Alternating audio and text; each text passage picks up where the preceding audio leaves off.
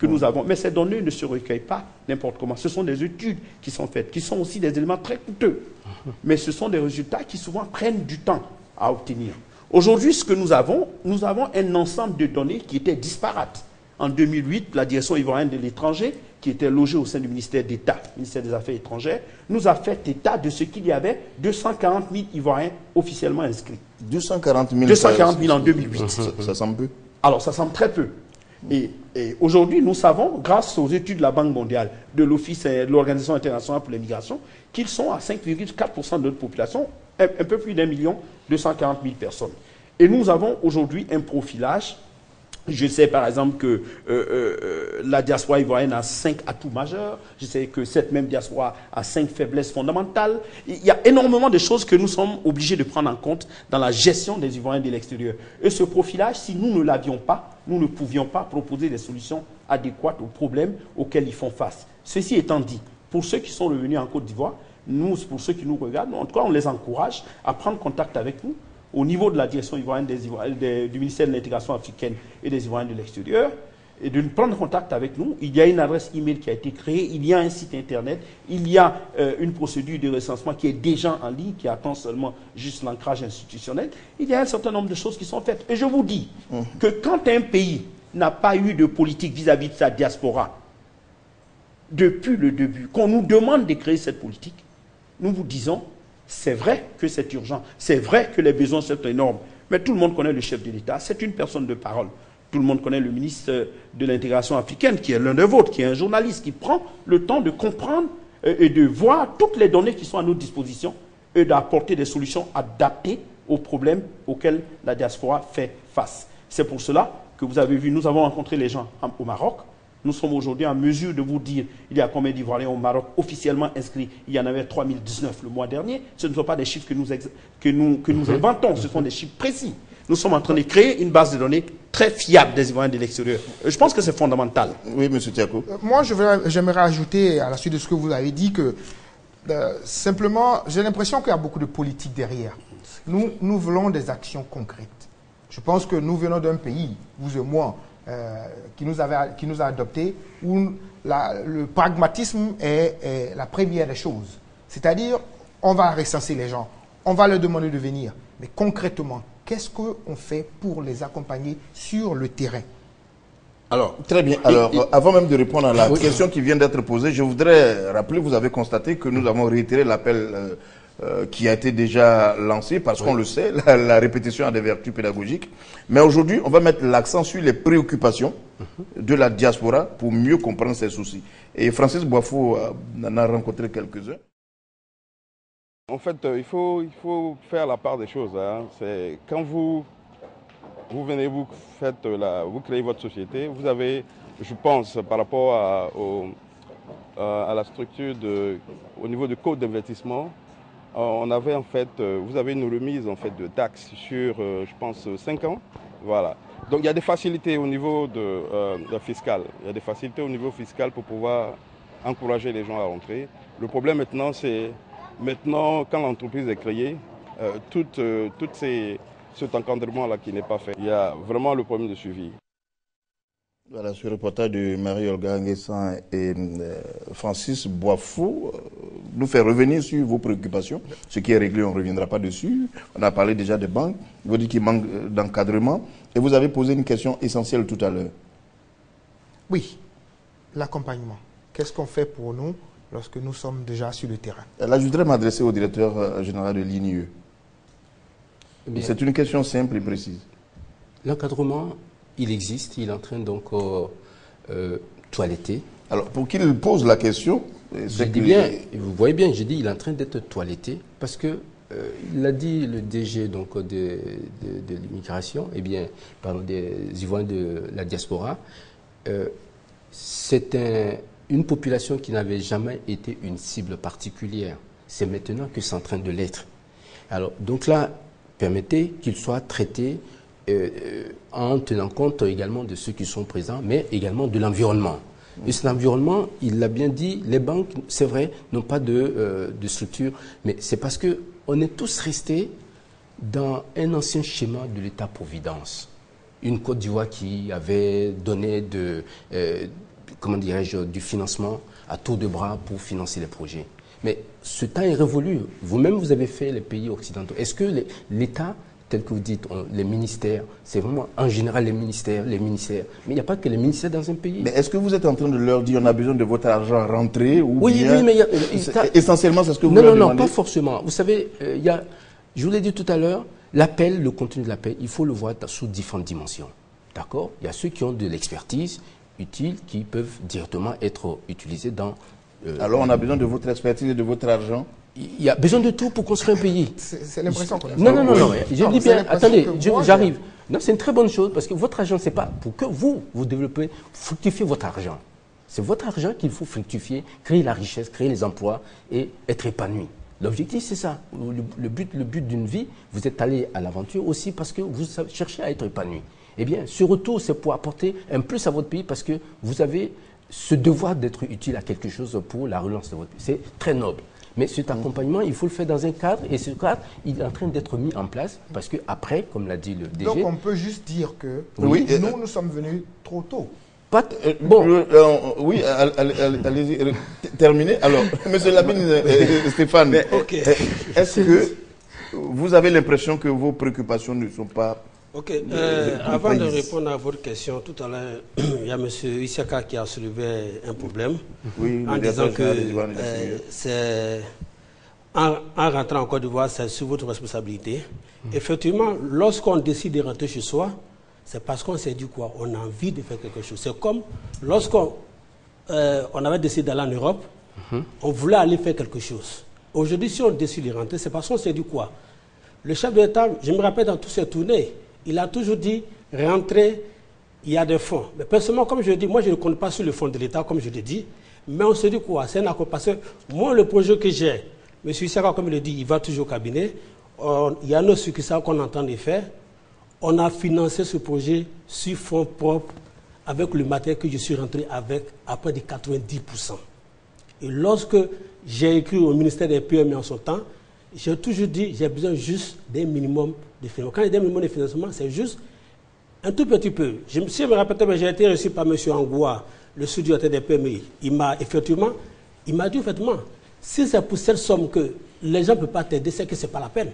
Mais il nous a fait savoir, si c'est pour compter sur l'État, il n'y a même pas un centime dans les comptes. Donc aujourd'hui, oui, M. Vous l'a répété. Voilà, aujourd'hui, je suis très fier, de, je suis très fier parce qu'aujourd'hui, Dieu merci, suite à mes, à mes démarches personnelles, il y a une banque qui a accepté mon projet, qui ont décidé de financer. Aujourd'hui, je dis Dieu merci. Comme je dis, je félicite cette banque parce qu'ils ont cru au moins à ce que je voulais faire. Parce que ce que je veux faire, c'est quoi? Ça peut employer peut-être 5 à 10 personnes, même voire 50 personnes à long terme. Donc, ce que nous on demande, c'est l'encadrement qu'on demande. Parce qu'aujourd'hui, M. Tiako, tout à l'heure, a soulevé un problème. Au niveau des, au niveau des impôts, il y, a, il y a ce côté qu'il faut nous faire. Mais Dieu merci pour moi, je bénéficie du code d'investissement que l'État m'a accordé. C'est pour ça que je dis à ce niveau, je me suis il battu. donc bon le code d'investissement. Voilà, je me suis battu tout seul. Au niveau de CPC, comme je dis, je n'ai rien à reprocher à CPC parce qu'ils ont fait leur boulot. Mais la seule chose que je, je peux signifier, je me dis, si d'aventure l'État a envie de mettre un fonds, c'est préférable de, de rattacher ce fonds-là à la CPC que ça soit sous la tutelle des ministères. Parce que c'est la CPC seule qui sait quels sont les PME qui sont créés et c'est à eux d'encourager ces jeunes gens pour dire, bon, vous avez créé telle structure, voici les conditions pour pouvoir avoir tel fonds pour pouvoir faire votre projet. C'est tout ce qu'on demande. Alors, là, vous parlez du, CPC. Oui, euh, oui. M. Konaté. Vraiment, moi, je vais revenir sur deux éléments fondamentaux. D'abord, je vais vous informer que euh, le CPC a bel et bien créé hein, une structure qui est en charge des personnes de la diaspora qui veulent investir. Vous avez expliqué toutes les facilités qui sont offertes. Ces facilités ne sont pas venues comme ça. Ce sont des actions de l'État. L'État a décidé qu'au sein du CPC, qu'il y ait un guichet unique et qu'il y ait une certaine organisation qui puisse prendre en compte les mm. personnes qui veulent investir. Donc, moi, je veux vous dire qu'il y a un certain nombre de choses qui se font. Je, vais vous informer sur, le fait, euh, sur le fait que le CPC est en train de réfléchir euh, avec nous, parce que ça fait partie des recommandations du premier Diaspora for Growth, de créer un fonds d'aide à l'investissement. Ils ont contacté une entreprise privée. C'est en bonne voie, ce projet. C'est un fonds d'aide à l'investissement. le fonds ne sera pas intégralement géré par le CPC. Il y aura, euh, des personnes, bien entendu, c'est piloté par le CPC, mais des personnes des différents ministères qui gèrent les questions de la diaspora. Parce que cela aussi est un élément important. Je voulais dire cela. En ce qui concerne les banques, c'est vraiment le, petit reproche que je voudrais faire. Je voudrais dire que euh, les banques ivoiriennes doivent être davantage ambitieuses et accompagner un certain nombre de projets. Nous sommes allés avec euh, un certain nombre de banques en Europe pour rencontrer la diaspora, mais lorsque la diaspora vient sur le terrain, il faut que aussi euh, ces banques portent un certain nombre de projets de la diaspora. Moi, je voudrais un de ces jours quand même qu'il y ait aussi une émission où certaines banques ivoiriennes sont invitées. Je reviens, je reviens du Maroc. Quel est le problème des, banques? Quel est le problème avec les banques Moi, je pense que le problème, c'est c'est peut-être, euh, je ne peux pas répondre à que les, les, les, banques, les, banques ne considèrent pas que euh, certains projets ne sont pas suffisamment bien ficelés pour euh, les financer. Peut-être parce qu'une banque, c'est une institution financière, elle a ses mécanismes et elle a son mode de prudence de gestion. et l'État n'a pas une politique pour influer directement. On a un État fondamentalement libéral qui va influer sur les décisions à l'intérieur d'une banque. Mais nous, ce que nous disons, c'est que nous venons du Maroc et nous étions très surpris de voir, en passant devant des banques marocaines, de voir Marocains de l'étranger, vous voulez, vous avez un projet, adressez-vous à nous. Ce sont des politiques que nous allons encourager ici, dans les semaines et mois à venir, afin que, au moins au niveau des banques, il y ait eh, cet accompagnement de la politique que nous voulons mettre en place en ce qui concerne les Ivoiriens de l'extérieur. le fonds qui va être créé, et grâce à l'intervention d'une compagnie dont je tairai le nom ici, va aussi permettre va aussi permettre de répondre à ce besoin de financement sur le terrain c'est un certain nombre de préoccupations qui nous sont relayées. Et ces préoccupations sont prises en compte. Oui, voilà. je, suis impatient parce que c'est vous laisse répondre à cela, mais avant cela, une question rapide à la diaspora. Est-ce que sur place, vous avez des difficultés avec les banques et puis Oui, oui, certainement. Moi, j'aurais souhaité, que, souhaité que ce soit hier représentant d'une banque. Voilà, on va faire avec les ceux qui sont sur le plateau. On va faire avec ce qui est là. Mais on aurait simplement euh, souhaité leur dire qu'un pays ça se construit aussi sur les PME. Aujourd'hui, les pays comme l'Angleterre, d'où je viens, ont compris, l'Angleterre a compris que l'apport des PME, des petites et moyennes entreprises, est aussi important que euh, l'apport de très grandes structures. C'est vrai que le nombre d'emplois peut-être peut être marginal si on veut voir 5 employés ou 10 employés, mais n'importe que ces 5 employés qui sont euh, embauchés. Mais il faut faire l'accompagnement. L'accompagnement se fait aussi par les banques, les structures privées. Aujourd'hui, moi, je pense que c'est une mauvaise gestion du risque. Je pense qu'aujourd'hui, le problème de la, des banques, c'est le problème de gestion du risque. On se dit, mais quel mécanisme On n'a pas de mécanisme en tant que tel pour euh, euh, garantir cette prise de risque. Mais rappelez-vous aussi que les banques ont été échaudées. On a vu, il y a, certaines personnes qui ont disparu avec l'argent. C'est l'État qui doit éventuellement garantir cette prise de risque? C'est-à-dire que euh, dans certains pays, l'État peut garantir au niveau des banques certaines, euh, certaines actions.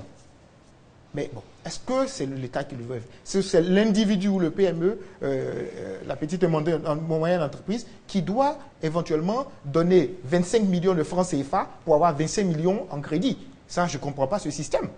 C'est que vous devez avoir un dépôt. Moi, je, je demande un prêt de 25 millions, on me demande 25 millions en dépôt. Mais si j'avais 5 millions, je n'ai pas besoin d'une banque. Donc quand, on va m'aider, c'est quand j'aurai réussi ou lorsque je brasse euh, des millions. Au moment où vous en, vous en moins besoin, besoin. Alors que je pense que comme toute PME, vous naissez. C'est la création de l'entreprise. Vous vous développez. C'est comme un individu.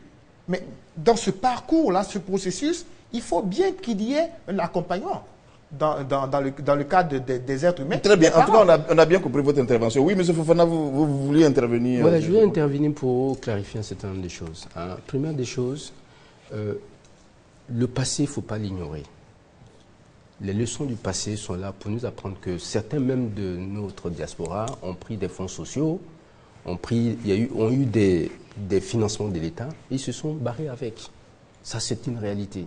Et les banques ont prêté de l'argent à des entreprises qui, sont, ont disparu pas, pas, pour diverses raisons. Donc là, aujourd'hui, il y a effectivement, comme il a dit, euh, des règles prudentielles dans les banques qui font qu'ils sont très regardants sur les dossiers. En fait, les nouveaux projets, les banques, à la limite, considèrent que le risque est trop important. Pourquoi? Parce que la personne n'a pas encore fait ses preuves. Donc ils ont ces règles, par exemple, aujourd'hui. Malheureusement, c'est un constat. Je ne dis pas ça pour défendre. Et, ça, je vais vous dire, bientôt, très, eh ben, même pas bientôt, le 7, le vendredi 7, je rencontre le pool des banques, l'association des banques en Côte d'Ivoire à la Banque mondiale pour qu'ensemble, dans les locaux de la Banque mondiale, pour vous dire l'importance du sujet, pour qu'ensemble, on dise clairement. Euh, alors, je voudrais. Ça, c'est très important vous dire que les banques sont. Que la elles sont très... la, première de l'information. Alors, c'est un scoop que je vous donne. C'est un scoop que je vous donne. Les banques sont aujourd'hui très préoccupées par comment contribuer au financement de l'économie. Parce que, quelle, est, quelle, est, la réponse que vous donnez à ces banquiers lorsque vous êtes en face d'eux? Ben, Je leur dirais que, messieurs, le financement de l'économie, c'est entre vos mains. Ça, c'est un. Ils me diront, oui, mais les risques, nous aussi, on ne peut pas les prendre. C'est là, les fonds, les fonds dont on a parlé tout à l'heure vont être mis en place. Il n'y a pas que le CPC qui met des fonds. L'Union, on est en train de mobiliser un important fonds également le ministre, le, ministre, le ministre Billon, dans, tout son, toute sa bataille, a été de faire en sorte qu'il y ait un nouveau cadre vraiment assaini du secteur. Vous pensez qu'on doit l'attendre pour quand euh, Ce fonds, je pense que c'est tout en, en, en, cours de négociation. On a, je pense, dans les trois à six mois à venir, un important fonds qui sera levé pour le soutien des PME dans, le, dans différents secteurs, notamment le secteur des besoins primaires. Parce que n'oubliez pas qu'aujourd'hui, nous sommes fortement dépendants sur un certain nombre de demandes. Le riz, on prend euh, la tomate, même la tomate. Vous savez qu'on importe la tomate des pays voisins, ce qui est un scandale pour la Côte d'Ivoire. Il y a des choses à faire. Ça, on en est tous conscients. Le gouvernement est conscient et il est en train de mettre les instruments en place pour y arriver. Mais avant, il y a eu des casses. Il faut trouver tout un cadre nouveau pour pouvoir sécuriser. Parce qu'il n'est plus question que quelqu'un prenne l'argent se, se fuit. Il faut que l'argent qui est prêté soit remboursé jusqu'au dernier centime et que les Ivoiriens soient dans cette nouvelle mentalité, notamment nos diasporas, qu'ils comprennent ça, parce qu'ils l'ont vécu là-bas, qu'ils sachent ça. Mais ces mécanismes sont en train d'être mis en place. Nous sommes conscients que les attentes sont fortes et personne n'a la perfection. Comment est-ce que je dois traduire vos réactions, M. Lamine Stéphane Non, au fait, bon, ce que je voulais dire, c'était juste pour compléter à ce que M. Tchako l'a dit. Mhm. Effectivement, le problème, comme il a posé avec, le, avec les banques, moi je peux dire que euh, en Côte d'Ivoire, nous avons un gouvernement. Chaque année, on a un budget. Si vraiment l'État, ce qu'on peut demander à l'État, pour le moment maintenant que ces fonds soient mis en place, si l'État, dans son budget, peut prévoir le minimum pour déposer auprès des banques, pour demander au moins à ces banques-là d'aider la jeunesse, je crois que ça pourrait être très simple. Parce que n'oublions pas qu'aujourd'hui, comme on, on le dit, tout ce qui est PME, on commence de 5 à au moins 50 employés. Imaginez-vous, il y a au moins 1000 jeunes qui rentrent show de l'Europe, de je ne sais où, mais qu'ils emploient au moins 25 personnes par 1000, vous voyez ce que ça fait. Aujourd'hui, on a l'impression que souvent l'État ne compte que les grosses boîtes qui viennent de l'autre côté. Or, ce côté-là, c'est un peu compliqué pour nous parce qu'on s'est dit quoi? Les jeunes, on a beaucoup à apporter parce qu'on on parle étranger, nous avons de l'expérience, on peut venir au moins former nos frères qui sont ici. On n'a pas besoin de les envoyer à l'étranger parce qu'il y a pas mal de jeunes qui sont en Europe, comme M. Konaté me le dit. Lui-même, c'est un homme de la diaspora. Il a acquis au moins 18 années d'expérience. Aujourd'hui, il est dans un ministère qu'il entend vraiment faire un boulot. Comme je le dis, je le félicite parce que vraiment, c'est un monsieur que je connais personnellement. Je l'envoie dans ce qu'il entend faire. Alors, messieurs, ensemble, nous avons fait le constat, hein, c'est que les intentions, les ambitions et même les directives, c'est une chose, mais la réalité du terrain en est une autre. Et quel est l'écart entre ce qui a été décidé et ce à quoi vous êtes confrontés aujourd'hui, vous de la diaspora, et surtout, qu'est-ce que l'environnement recommande aujourd'hui, à votre avis, M. Tiako Je pense que l'environnement recommande qu'on vienne en prenant beaucoup de précautions. Il euh, ne faudrait pas qu'on se dise que lorsqu'on arrive, les choses iront sur euh, euh, des roulettes et que tout ira bien. C'est vrai qu'il y a des difficultés. Comme je le dis, moi je tiens à encourager, vraiment, de vous, à vous encourager, à encourager le gouvernement ivoirien parce que la diaspora, c'est vrai que notre retour n'est que très récent. Hein. il n'y avait pas pratiquement de diaspora ivoirienne jusque dans les dix dernières années, avant la crise. Donc c'est quelque chose de nouveau. C'est vrai que le mécanisme est là. Il faut certainement du temps, accorder du temps pour que ça se mette en place. Nous, aujourd'hui, notre action, c'est de faire en sorte que, euh, malgré que ce temps soit accordé, nous soyons là aussi pour dire, oh non, ça ne fonctionne pas bien. Et éventuellement, on peut faire mieux. On peut faire mieux. Donc nous, on vous encourage. Nous, on sera là pour vous dire notre expérience, nos difficultés. Dire aux autres aussi, euh, notre expérience, les difficultés auxquelles ils peuvent faire face. Mais euh, nous souhaiterons aussi que pour ceux qui sont, qui sont déjà là, comme nous, certainement, il y ait une structure, il y ait quelque chose, un accompagnement. Ça peut être tantôt financier pour certains, ça peut être euh, pas financier, moi pas forcément, mais ça peut être juste l'écoute de l'État ivoirien pour que moi je me sente aussi participant de la relance économique. Monsieur Tako, euh, vous est-il arrivé un moment de penser à repartir, avoir des regrets? Euh, Certainement que moi, mon arrivée, vraiment, effectivement, en Côte d'Ivoire, en tant qu'entreprise, est récente. Mais c'est vrai que par moment, euh, quand je vois l'environnement, les difficultés, je me dis que certainement je ferais mieux d'être avec mes enfants tranquillement au froid. Euh, vous, voulez dire dans une autre entreprise euh, Oui, monsieur Konaté, Lamine Stéphane, la même question. Ok. vous avez des regrets quelquefois? Pour être honnête, sincèrement, je n'ai pas de regrets. Parce que ce que je peux dire, c'est que lorsque je partais en Europe, j'ai décidé de partir. Pour mon retour, j'ai décidé, je me dis, quel que soit ce qui va se passer, parce que je suis chez moi, au moins je vais éviter le froid.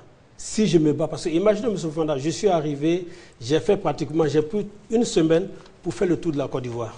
J'ai vu qu'il y a assez à faire. Ce qu'on a comme potentialité en Côte d'Ivoire ici, il y en a. Il suffit que les autorités nous aident, nous accompagnent. On peut vraiment amener la Côte d'Ivoire à l'horizon de comme on dit, au niveau de l'émergence. Euh, euh, monsieur le directeur général des Ivoiriens de l'extérieur, euh, je vous pose cette question simple. Comment les dissuader de repartir d'où ils viennent? Parce qu'il arrive des fois qu'on pense à repartir quand on est face aux contingences, aux blocages, aux obstacles. Mais vous savez, c'est c'est quand même quelque chose qui arrive à tous les êtres humains. Ce n'est pas parce qu'ils sont en Côte d'Ivoire. Ce n'est pas, moi, je ne pense pas, je ne vois pas le problème de la sorte. Moi, je voudrais honnêtement saisir cette opportunité pour les inviter à rentrer en contact avec le ministère de l'intégration africaine des Ivoiriens de l'extérieur. De rentrer en contact avec aussi le CPC pour les projets qu'ils ont, voir si la période de mise à niveau d'une compagnie de création d'une entreprise en 48 heures, 24 heures maintenant, si ce phénomène ne marche pas, parce que j'en suis convaincu que ça marche. Donc il y a un certain nombre de dispositions. Moi, je les invite, pour ceux qui ont des difficultés, à rentrer en des difficultés d'intégration, à rentrer en contact avec nous.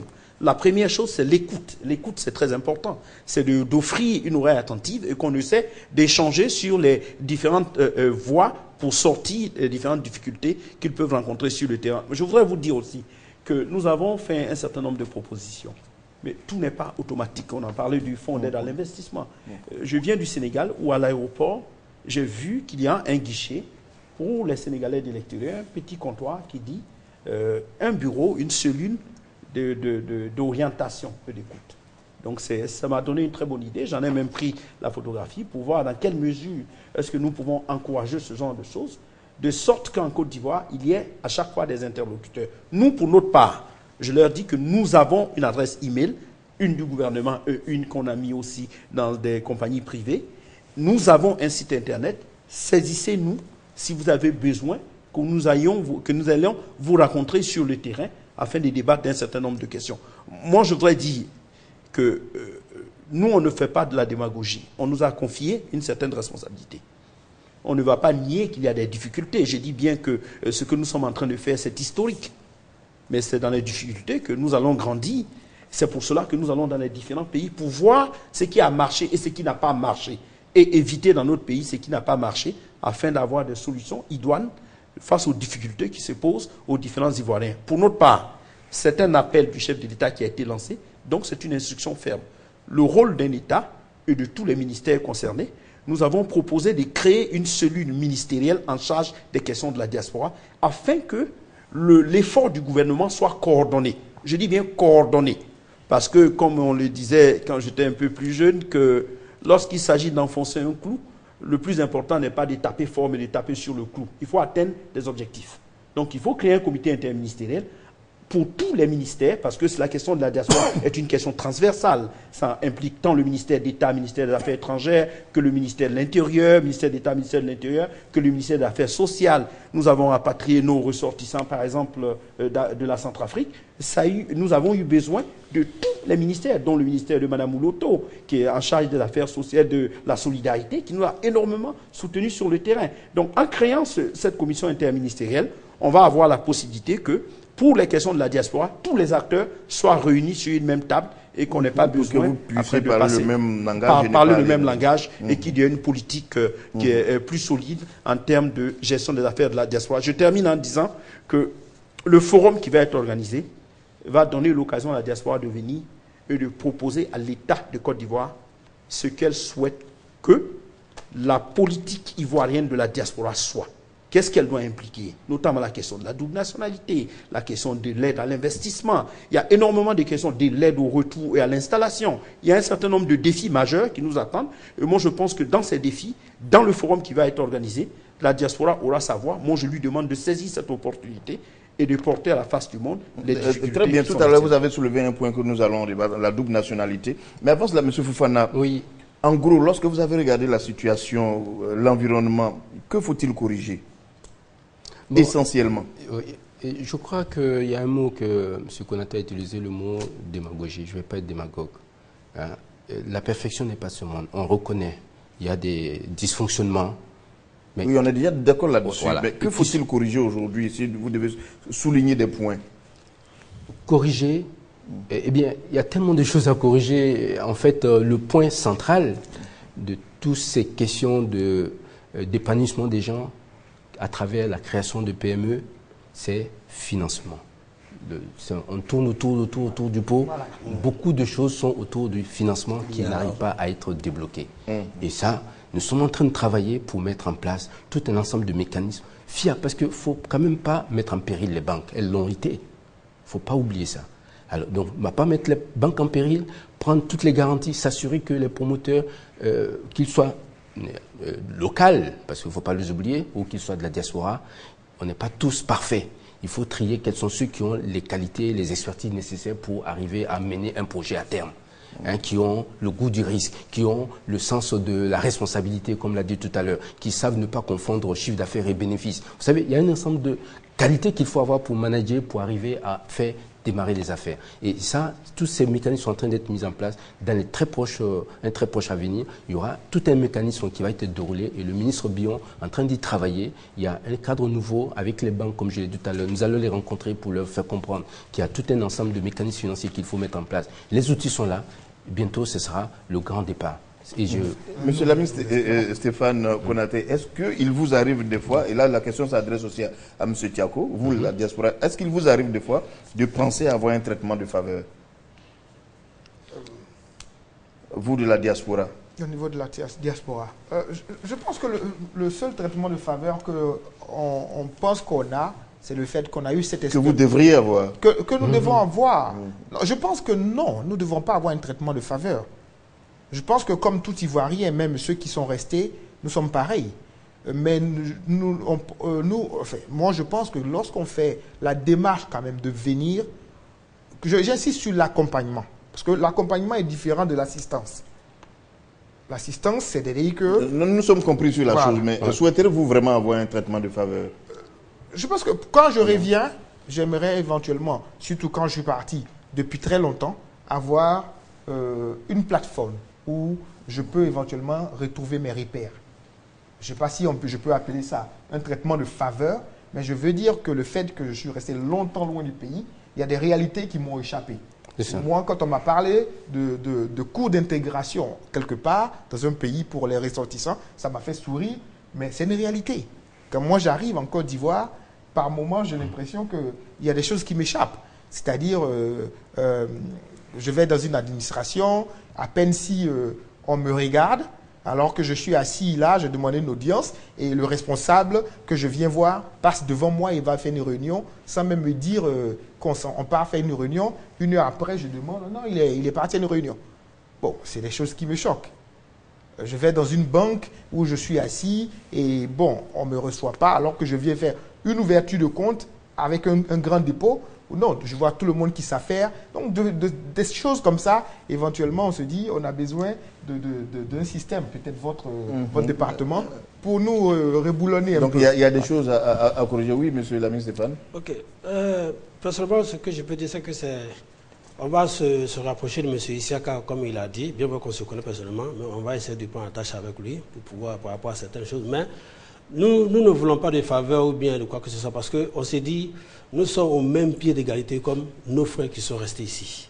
Il n'y a pas de différence. La seule différence qu'on a peut-être, c'est qu'on vient de l'autre côté, nous avons de l'expérience à apporter. Parce que si j'étais resté ici, l'expérience que j'ai aujourd'hui, ce n'est pas pareil comme ceux qui sont restés ici. Monsieur Kounati, lorsqu'on regarde aussi le, code d'investissement, euh, un Ivoirien euh, qui est aux États-Unis longtemps, il est en France, il n'a pas le droit d'avoir la double nationalité pour pouvoir s'installer correctement en Côte d'Ivoire. Il y, a, quelque chose que je ne comprends pas bien. Vous savez, c'est un, un, problème fondamental qui devra, euh, je pense que la diaspora, lors du forum, devra faire des recommandations au gouvernement sur ce point précis, parce que euh, notre pays a connu des périodes assez difficiles sur des questions de nationalité.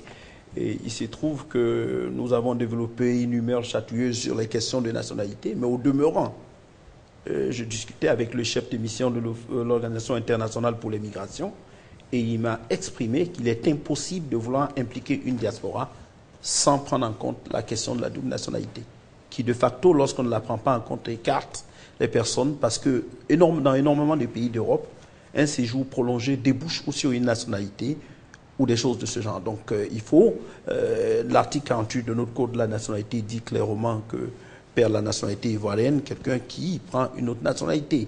C'est un élément fondamental. Il fait partie du projet des termes de référence que nous sommes en train de proposer à l'État en ce qui concerne le forum de la diaspora.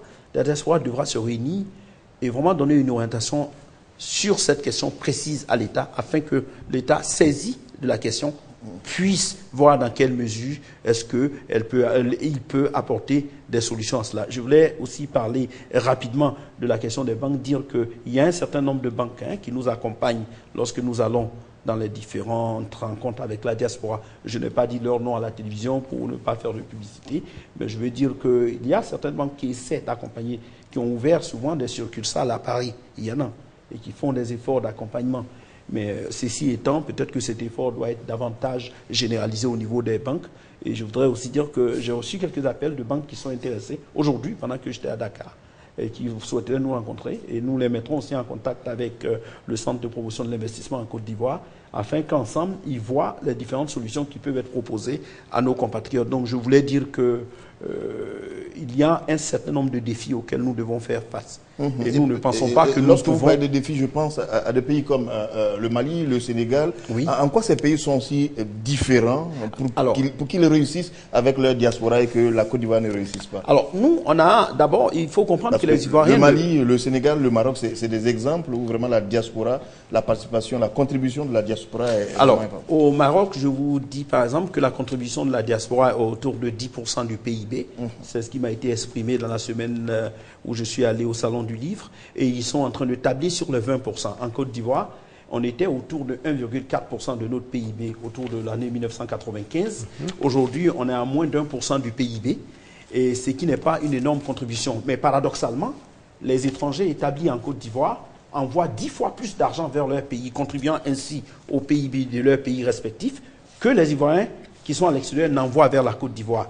Et c'est parce que simplement notre diaspora n'avait pas été organisée, n'avait pas été prise en compte au niveau de la politique générale de l'État. Et c'est ce qui est en train d'être fait. Lorsque l'État va aider la diaspora à se réorganiser, en associant toutes les associations de la diaspora, je dis bien toutes les associations, quelles que soient leurs aspirations, que soit régionales, en organisant, en créant un haut conseil des Ivoiriens de l'extérieur, calqué sur l'exemple marocain, en prenant aussi les particularités de l'exemple malien, notamment au niveau des transferts de fonds, où ils ont un système de transfert propre au Mali, ce que nous n'avons pas en Côte d'Ivoire. Les Marocains m'ont expliqué que pendant très longtemps, euh, une des banques marocaines était présente au sein de leur consulat pour favoriser les transferts de fonds. Ce sont énormément de facilités que nous, on n'avait pas. Mais en allant à cette, école, à cette école, nous avons appris les particularités des différents pays et nous avons proposé une politique Et cet exemple, vous êtes, vous êtes, prêt à l'utiliser, cet exemple? Il y a, Oui, il y a un exemple. Euh, ça va être difficile de mettre au niveau des consulats parce qu'il faudra choisir laquelle des banques. Alors que dans le cas du Maroc, il y a une banque nationale qui appartenait au, royaume et qui était facile d'installer dans des consulats, alors qu'ici, elle est essentiellement aujourd'hui à fort capital privé. Il y a très peu de présence de l'État dans ces différentes banques, donc ce qui crée une difficulté. Mais dans la réunion que nous venons d'avoir aujourd'hui, il y a des projets qui sont en train d'être mis sur pied pour faciliter et du mieux le coût du transfert de l'argent afin qu'il y ait des systèmes propres aux différents pays pour mhm. plus contribuer au développement et à l'augmentation du PIB. Euh, justement, il y a plus de 120 millions de personnes dans le monde, dans le monde qui bénéficient des transferts de fonds. C'est énorme et c'est un. Et apparemment, cette idée vous séduit Moi, je euh, pense que c'est salutaire tout ce que vous dites. Je pense qu'en en, tant que euh, revenant de la diaspora, nous, nous devons encourager ça nous devons éventuellement participer à ça. Et je pense que c'est pour ça que votre idée de, forum bientôt sera la bienvenue. Parce qu'il faudrait aussi nous donner un cadre aussi, où nous pouvons éventuellement vous dire, vous faire des propositions.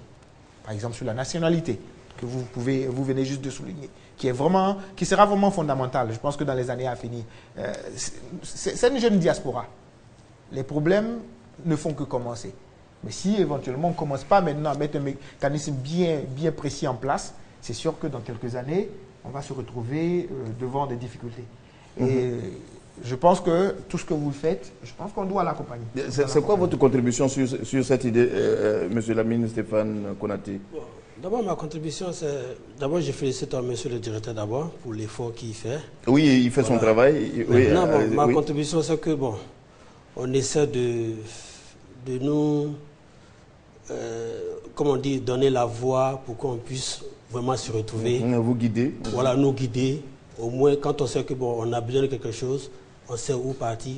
Au moins, ça facilite l'intégration. Parce que nous autres, ça peut nous permettre, comme on dit, être l'ambassadeur de nos frères qui sont là-bas, pour les encourager à venir, pour dire, ah, vraiment, nous, étions les premiers, mais les choses ont changé. Pour, parce n'oubliez pas qu'il y a beaucoup qui sont à la porte, qui attendent.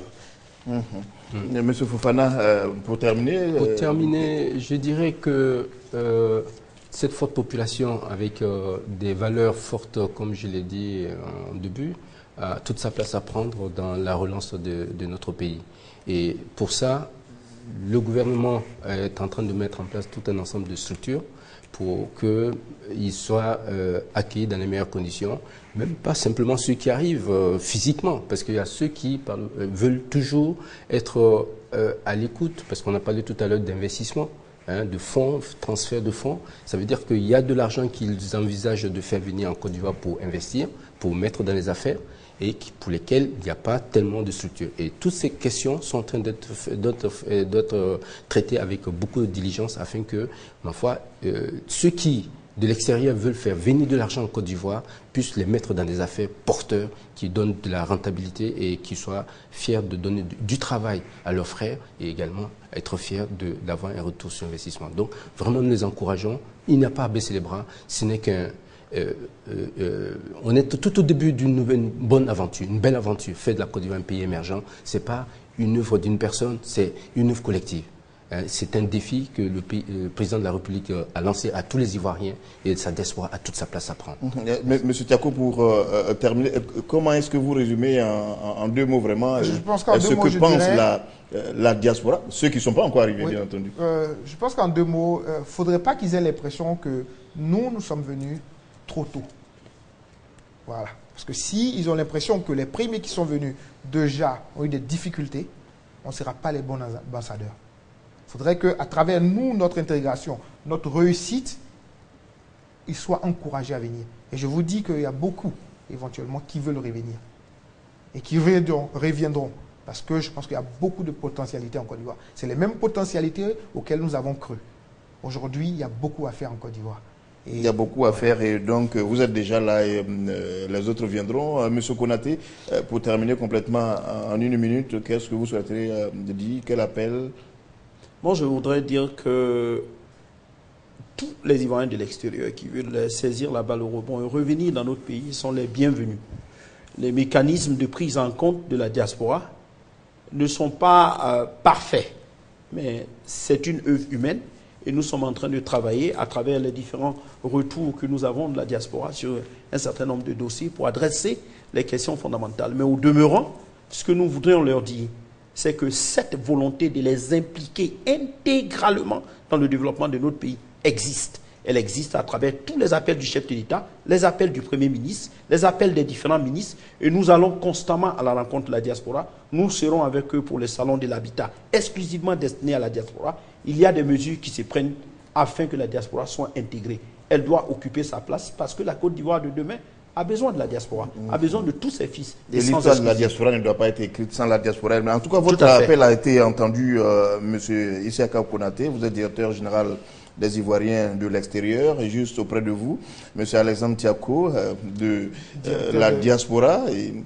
Et, nous avons aussi Monsieur Mouraman Fofana, directeur général de l'Institut ivoirien de l'entreprise. Et enfin, M. Lamine Stéphane Konaté, euh, ivoirien de la diaspora. Merci, messieurs, d'être venus sur ce plateau. Quelle place pour la diaspora ivoirienne dans la relance de l'économie ivoirienne? Cela veut dire, dans le même temps, quel souci est pour la diaspora, quel souci est pour l'État de Côte d'Ivoire lui-même, et donc quelle solution lorsque tout le monde se met ensemble. Merci de nous avoir suivis et très bonne soirée sur RTI 1.